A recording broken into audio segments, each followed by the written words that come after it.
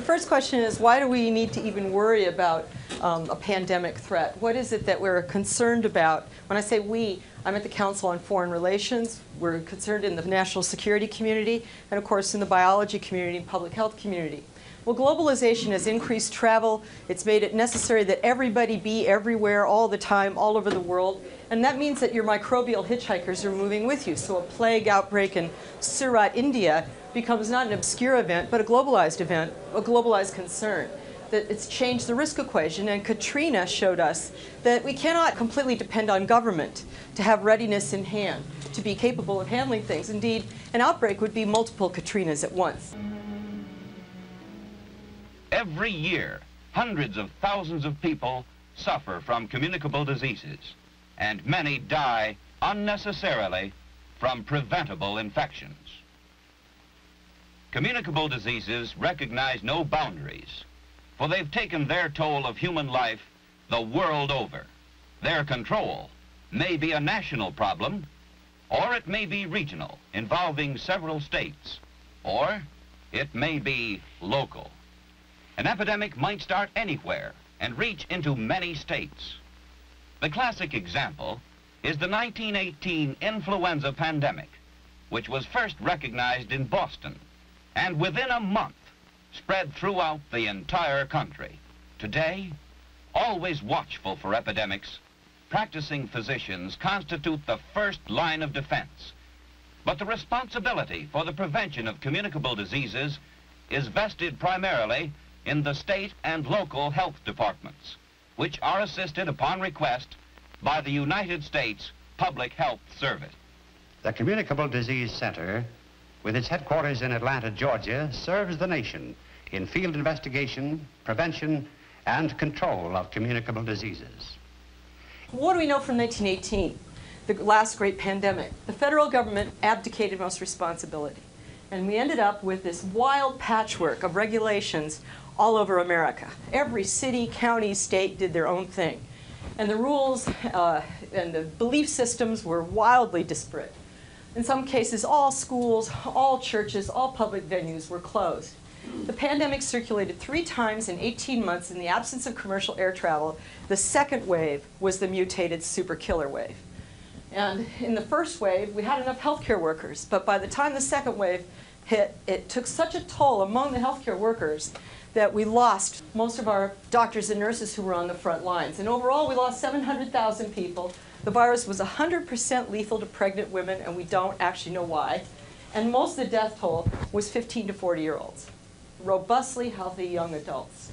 It was likened to the plague. We don't actually know how many people died. The lowball estimate is 35 million. This was based on European and North American data. A new study by Chris Murray at Harvard shows that if you look at the databases that were kept by the Brits in India, there was a 31-fold greater death rate among the Indians. So there's a strong belief that in places of poverty, the death toll was far higher, and that a more likely toll is somewhere in the neighborhood of 80 to 100 million people before we had commercial air travel. In cooperation with local health agencies all over the country, the Communicable Disease Center, better known as CDC, has established diagnostic laboratories, applied research projects, control operations, and field training centers. CDC employs a variety of professional specialists skilled in every aspect of communicable diseases. Medical epidemiologists, veterinary epidemiologists, public health nurses, laboratory technicians, parasitologists, entomologists, sanitary engineers, statisticians, training specialists, and many others who work together to solve the practical problems and get results in the fight against communicable diseases. So what's concerning us? Well, first of all, at no time in history have we succeeded in making, in a timely fashion, specific vaccine for more than 260 million people. It's not going to do us very much good in a global pandemic. You've heard about the vaccine we're stockpiling, but nobody believes it'll actually be particularly effective if we have a real outbreak. So one thought is, After 9-11, when the airports closed, our flu season was delayed by two weeks. So the thought is, hey, maybe what we should do is just immediately, we hear there's H5N1 spreading from human to human. The virus is mutated to be a human-to-human transmitter. Let's shut down the airports. However, huge uh, supercomputer analyses done of the likely effectiveness of this show that it won't buy us much time at all. And of course, it'll be hugely disruptive in preparation plans. For example, all masks are made in China. How do you get them mobilized around the world if you've shut all the airports down? How do you get the vaccines moved around the world and the drugs moved and whatever may or may not be available that will work? So it turns out that shutting down the airports is counterproductive. A communicable disease is one which can be caught from someone else. This means that the germs have to leave the body of a sick person and enter the body of one who is well. Viruses. Viruses, and there are many different kinds of them, can be scattered with each particle of saliva and mucus. When one sneezes or coughs, for instance. But do not think for a moment that producing viruses are spread only by sneezing and coughing. If by some magic the tiny particles of saliva and mucus could be made visible as a black smudge, we quickly would realize in how many other ways we are apt to scatter bacteria and viruses all around us. The usual gateway by which they enter is through the mouth or nose. For instance, Jane here has a cold. Look at that smudge. Look at those germs she leaves on the doorknob. And here's Bob's hand picking them up. Bob, his hand now covered with germs picked up from that doorknob, transfers them to a book. Sue, having the bad habit of wetting her finger to turn pages, carries the germs from the book to her mouth, and then passes them along with a pencil to Anne. Anne carries them home and leaves them on the family's dinner table. Yes, even during an ordinary conversation, saliva and mucus particles escape our mouth and easily reach others who inhale them as they breathe. Just remember how breath becomes visible on a cold day. Coughs and sneezes which are not protected send germs in a direct spray.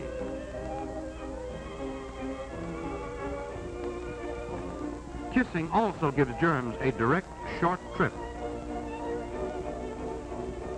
The public drinking cup is a favorite means of travel. As individuals and as a community, we can do many things to halt this movement of germs and prevent the spread of disease.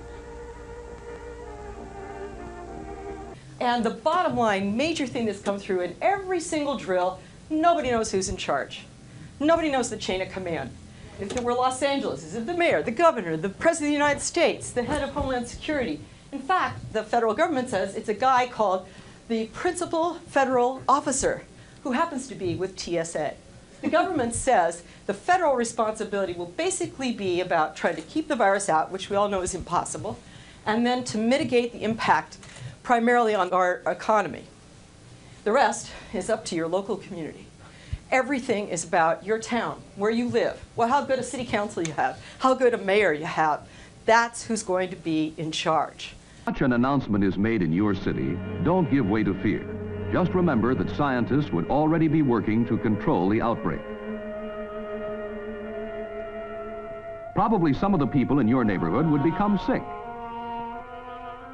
Reports of the disease would start pouring into health and medical authorities. The number and location of cases would be plotted on a map of the area.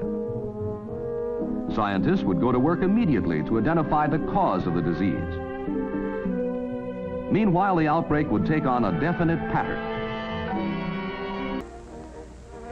A healthful community must have a safe water supply.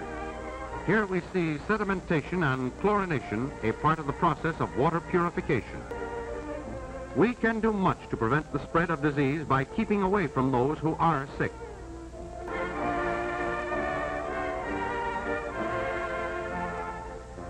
Common sense tells us to stay away from indoor crowds whenever communicable diseases are prevalent. Certainly cleanliness should be observed in all places where food is sold or served. All dishes used by the public should be sterilized. The use of paper cups instead of common drinking glasses will help keep down the transmission of disease. Keep yourself and your family clean. Don't help germs by making things easy for them. Germs have trouble living in clean places. Our hands may pick up germs. The one act of washing the hands after going to the toilet and before eating Wash all contaminated garments thoroughly to remove germs or toxins. Always report sickness promptly. Most local facilities would all be competing to try to get their hands on their piece of the federal stockpile of a drug called Tamiflu, which may or may not be helpful, I'll get into that, of available vaccines and any other treatments and masks and anything that's been stockpiled. And you'll have massive competition.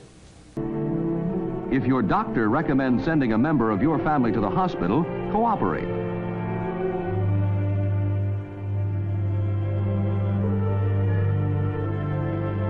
Local health and medical authorities would distribute instructions so that the outbreak of the disease could be controlled. Follow their instructions closely.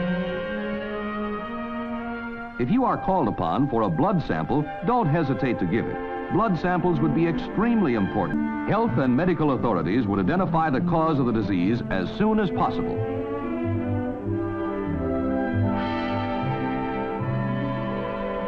The recovery of those already sick would be speeded up with the use of modern drugs. Mass inoculations might be necessary to keep the disease from spreading. This would require the cooperation of everyone. So are we ready? As a nation, no, we're not. And I think even those in the leadership would say that is the case, that we still have a long ways to go. So what does that mean for you?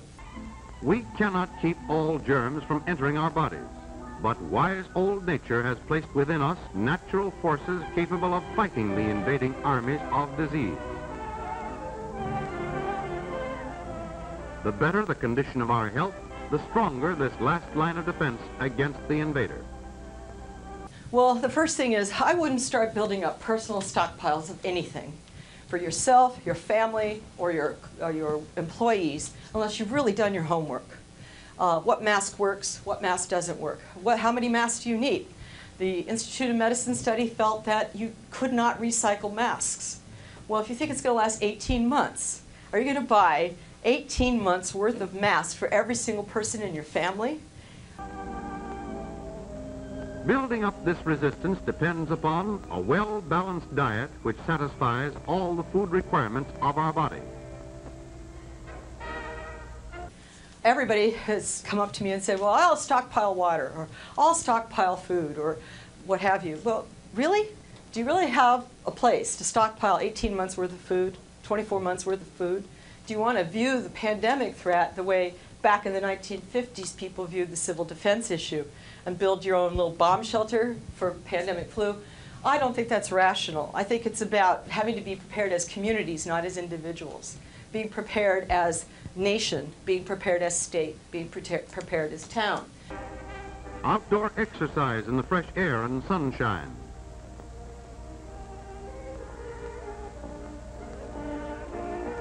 And right now, most of the preparedness is deeply flawed, and I hope I've convinced you of that, which means that the real job is to go out and say to your local leaders and your national leaders, why haven't you solved these problems? Why are you still thinking that um, the lessons of Katrina do not apply to flu?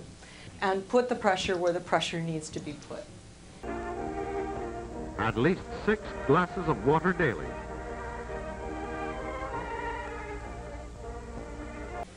But I guess the other thing to add is if you do have employees and you do have a company, I think you have certain responsibilities to demonstrate that you are thinking ahead for them and you are trying to plan. At a minimum, the uh, British banking plan showed that telecommuting can be helpful. It probably does reduce exposure because people are not coming into the office and coughing on each other or touching common objects and sharing things via their hands. Uh, but can you sustain your company that way? Well, if you have a dot .com, maybe you can.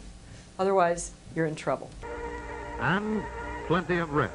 At least eight hours of sleep every night. Every step we take to prevent the spread of disease means increased happiness and greater living efficiency for all of us.